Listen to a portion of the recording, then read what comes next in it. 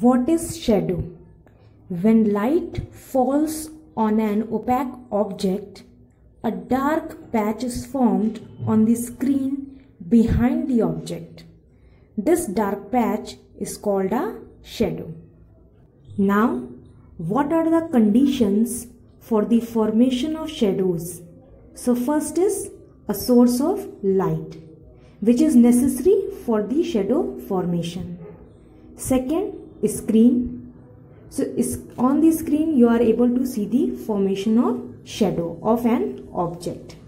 Third is the object, either opaque object or translucent object. Now, the size of a shadow depends on the following two. First is distance of source of light. It means that if the source of light is closer to the object, then a larger shadow will be formed. And when the source of light is far from the object, then a smaller shadow will be formed. Second is size of a shadow depends on the angle at which the light rays fall on the object. It means that when the source of light is overhead to the object, then the light falls from the shortest distance, so the shadow is small. And when the light source falls on the object from any slanting direction, then the shadow which is formed on the screen is longer. So now let us understand with a practical. So here the torchlight of this cell phone is act as a source of light. This whiteboard act as a screen. Okay, or if you want you can use the white paper also and any object you can uh, take. Here I am taking the marker ink. So as you can see here that this is the object. If the object become closer to the source of light, the size of the shadow, you can see the size of the shadow on a whiteboard. So the size of the shadow become larger as the object become closer to the uh, source of light.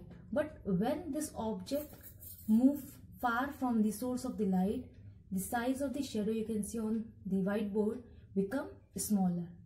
So if the distance between the object which is the marker ink and the source of the light, if the distance become smaller between them then the size of the shadow become larger and if the distance uh, between the source of the light and the object become larger then the size of the shadow become smaller. The size of the shadow is also depend upon the angle that at which angle the source of the light is falling at any object. So here the object is this okay that is the marker ink and the source of the light is from the cell phone. So you can see the object shadow this object shadow if it is overhead to this object if the source of the light is overhead to the object means at the 90 degree of it then you can see the shadow this is the shadow. So the shadow is smaller. And when it is moved at uh, mm, in a slanting way in a slanting direction you can see the size of the uh, shadow become larger okay? So if it is at any slant direction the size of the uh, shadow you can see it become larger and larger and when it is coming closer okay at the 90 degree overhead to the object the size of the shadow become smaller